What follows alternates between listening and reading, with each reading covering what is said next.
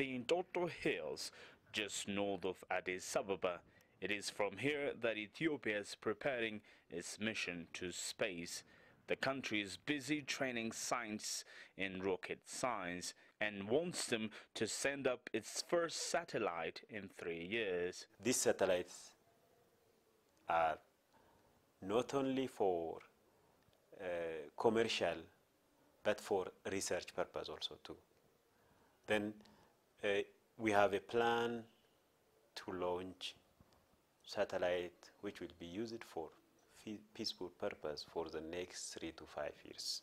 Already, the Entoto Center has a functioning observatory. This is a one meter telescope, and as any other telescopes, it functions by uh, taking light from the universe, from any celestial object, grabs the light, focus the, through the mirrors, and will send it, the image or the light to be processed to the cameras and the computer which is located in the control room. The prospect of Ethiopia joining the race into space even nearly 60 years after the first satellite launch has excited many here.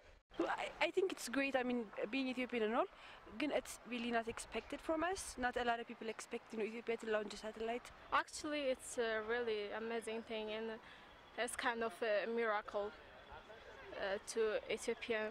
All being well, the 2016 satellite will be just the first.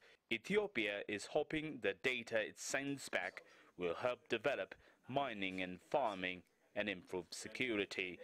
Girum Chala CCTV Addis Ababa, Ethiopia.